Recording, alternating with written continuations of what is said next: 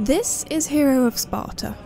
During the first year of his epic campaign, he has already reclaimed two cities from rebel forces, showing those uncultured heathens the true might of the sons of Apollo. The Macedonians would be next to feel the strength of Sparta. Although soon Hero will wish for the days where rebels and Macedonians were his only troubles, for soon an even greater threat was nearing the horizon.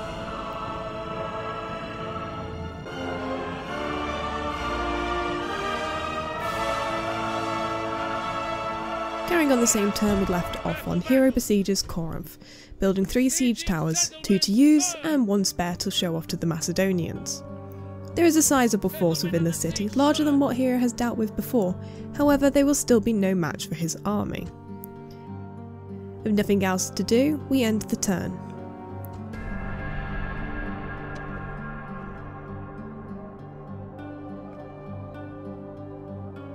We are now officially at war with the Romans, and our treasury is still nose diving through the red. Having used up their movement points fleeing last turn, the Brutii Peace Armada has not moved, allowing us to attack this turn. However, before doing so, we will move some of our own fleet into position to catch the cowardly Romans, with Polydorus continuing the vigil over the Roman mainland. Now, we are ready to attack.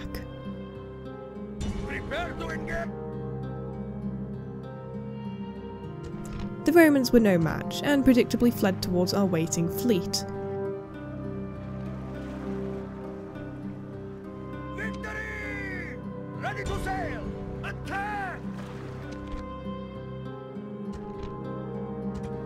Fleeing again, the Romans had escaped their fate this turn. For now, we reposition to catch them next time.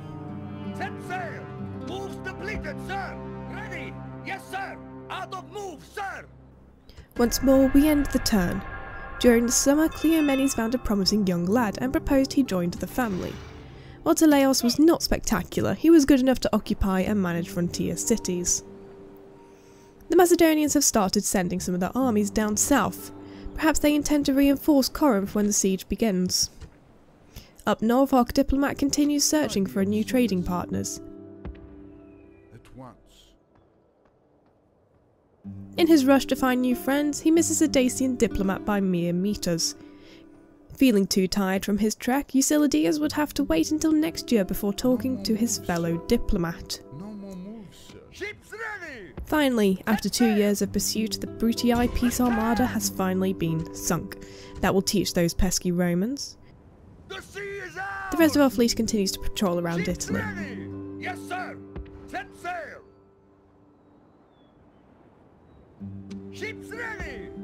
Sir! With nothing else requiring our attention, the turn is ended. Pirates, outnumbering Admiral Polydorus 2 to 1, think they have a chance at defeating our Admiral, but are quickly proven otherwise.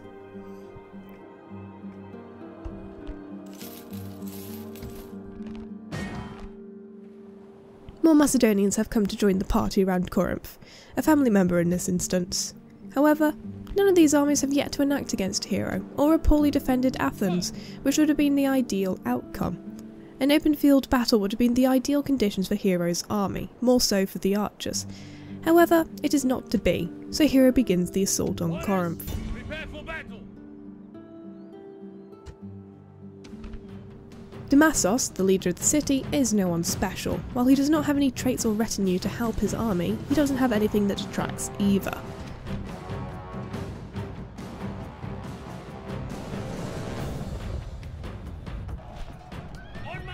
Is not a complex city as illustrated here. There are straightforward paths leading from the gates to the plaza from each direction. We will be using the east gate and the west gate.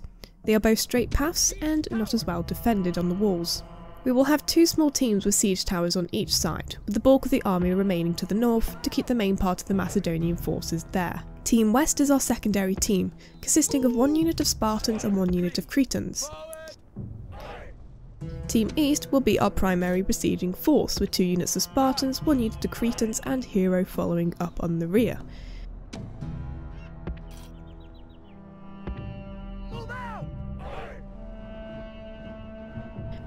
They beeline to the wall.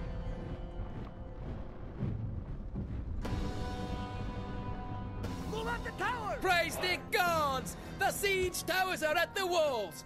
Now the real fight begins!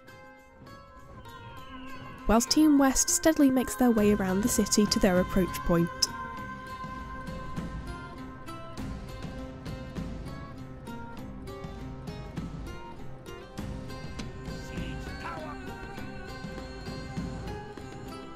Our siege towers have breached the walls. Now there will be hard fighting to break the defenses. Now all Team East needs to do is unlock the gate and avoid being hit by the archers while they're sitting ducks upon the wall.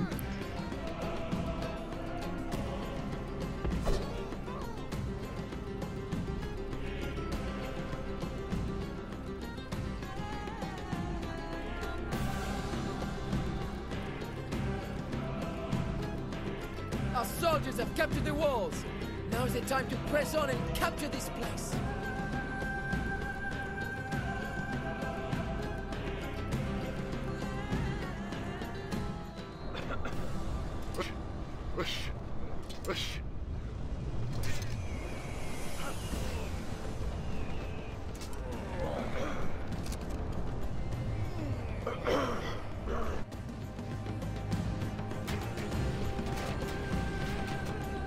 Now with possession of the gate, the Spartans retreat back while they wait for the archers to leave.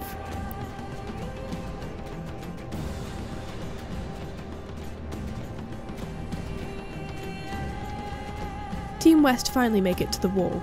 With only a unit of militia hoplites as their opposition, the Spartans work on unlocking the gates to get their archers in. Soon, the eastern archers have finally been whittled down enough for the rest of Team East to come into the city unscathed.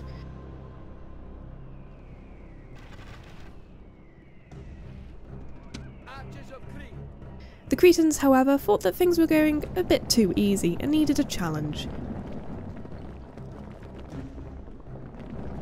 They started shooting down the Macedonian archers from behind the gatehouse with no visibility of said archers.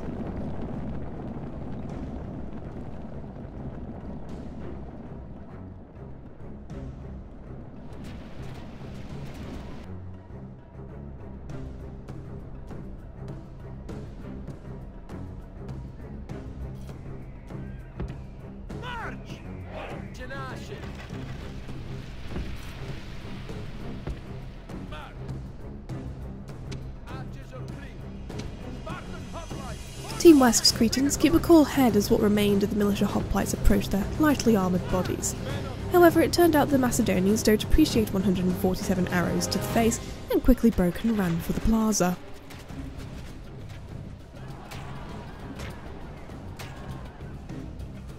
With all opposition cleared from the streets, both sides could now simultaneously march onto the plaza.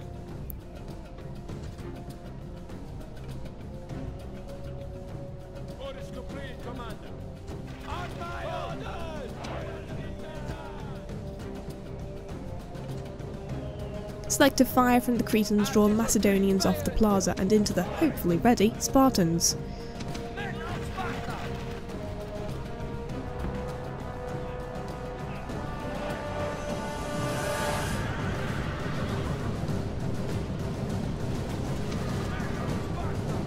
The light lancers are the first to be drawn off, going back and forth on who to charge at before picking a direction.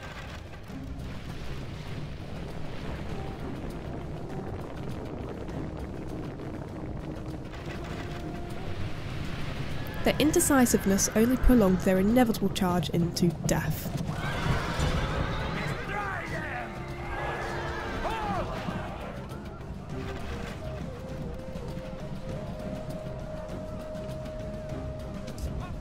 March under the plaza continues, gaining new advantageous positions for the Cretans to fire from.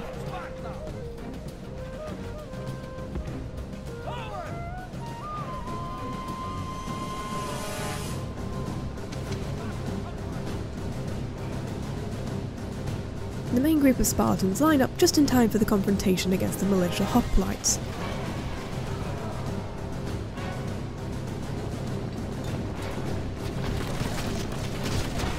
Although losing a man in the skirmish, they show the militia who the superior hoplites were.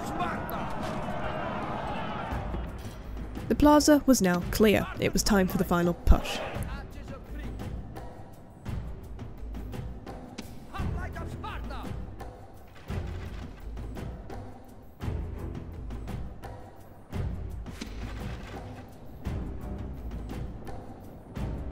The Macedonian general has come out of hiding to grace us with his presence,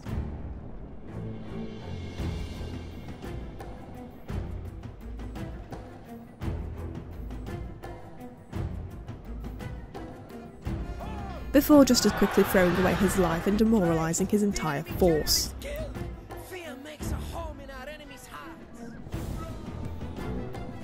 Hero comes in at the end to help mop up any loose stragglers.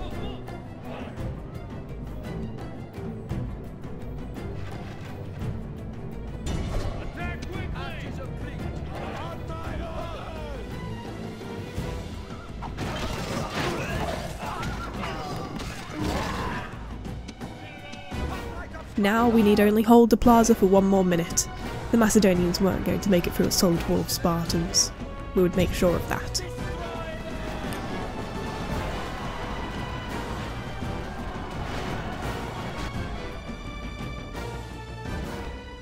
God be praised. This victory surely not that of mortals like us. Unfortunately, during the general's charge, two Spartans valiantly fought to the death. However, one that was presumed dead before was found clinging to the last of his life and made a full recovery. The population of Corinth is exterminated for the same reason as Athens. We just can't support a large growing population just yet. However, we have captured a very important wonder that will be critical to the stabilisation of our economy the statue of Zeus at Olympia.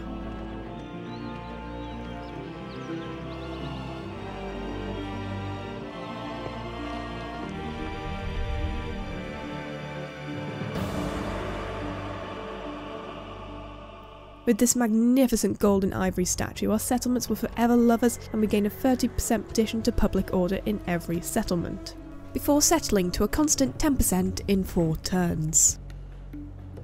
This additional percentage almost negates the unhappiness caused by the high tax rates. And having a high garrison to population ratio, we'll be able to keep the taxes rather high for some time to come.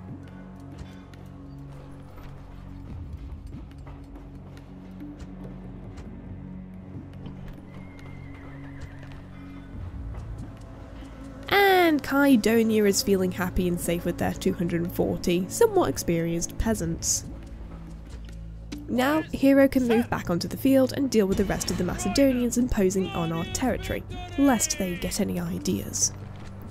Deleios makes his new home in Corinth with a unit of peasants. His end goal will be Athens, to get a proper education from their renowned academies once the roads are finally cleared. Our fleets continue to patrol around the Italian peninsula, and occasionally using their telescopes that wouldn't be invented for another 1850 years to spy on the Roman activities, of which the Brutii are looking rather empty. No more moves, sir! Ready to sail! Yes, sir! Moves depleted, Hero continues to push back against the Macedonians, and our diplomat finally makes it to another town and secures trade rights and some map information.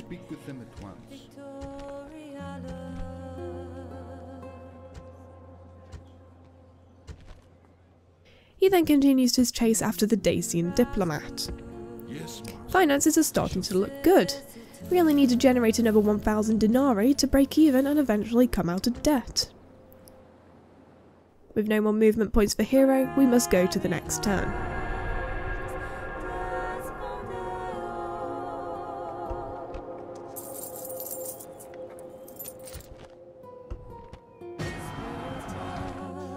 Continues his attack on the Macedonian captains, and unfortunately the general retreats onto a boat. However, we are finally able to pin down the smaller of the two remaining armies.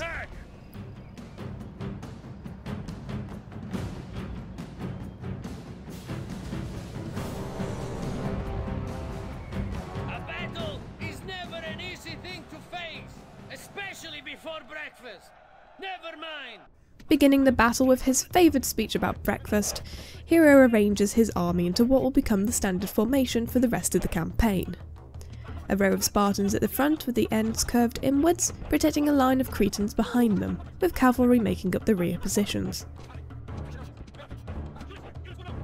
Our foes, Levy pikemen and light lancers, will be our first challengers on the open field.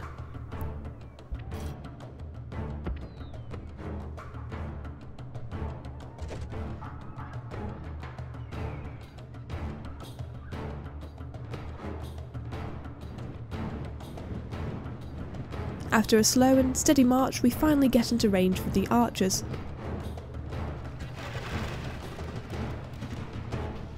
And the levy pikemen are decimated in minutes.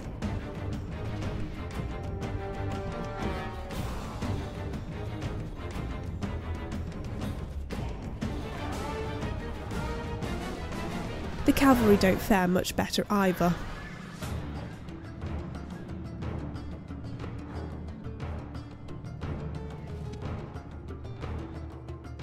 With 98% of the Macedonians killed, it is safe to end the battle, as the army will disappear off the map.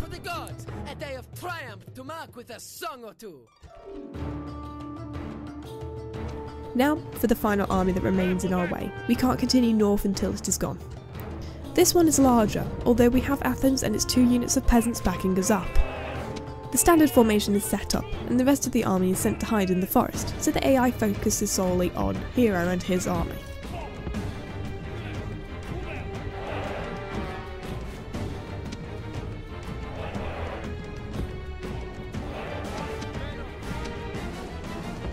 Somehow we were able to hide 2,032 men and 432 horses behind about 18 trees.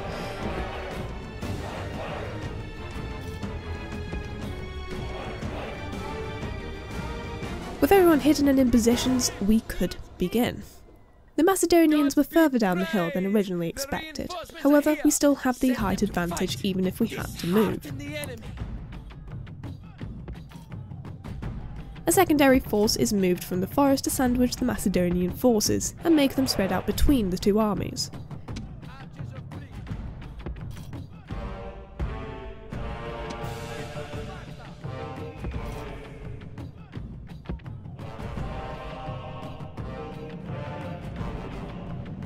The Macedonians' heavy cavalry had potential to cause a world of hurt if they charged at the wrong place at the wrong time, so ideally we wanted to avoid that.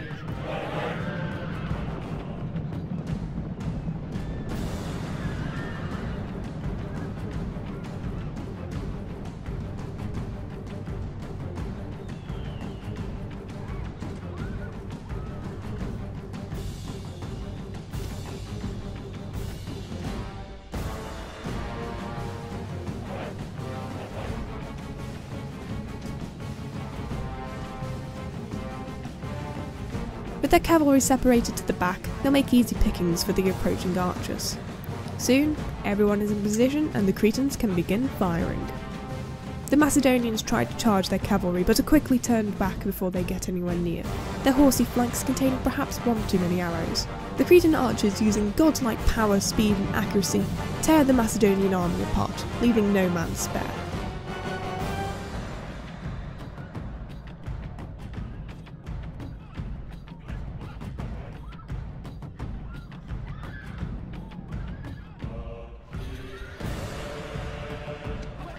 Another cavalry charge is thwarted by the Cretans. The riders, seeing Apollo in many, many duplicate human forms, were quickly overcome with fear and reverence and fled.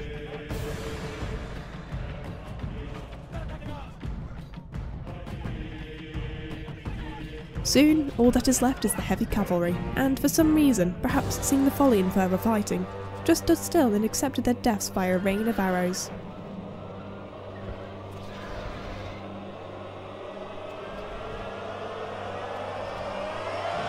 Before being chased away by Hero.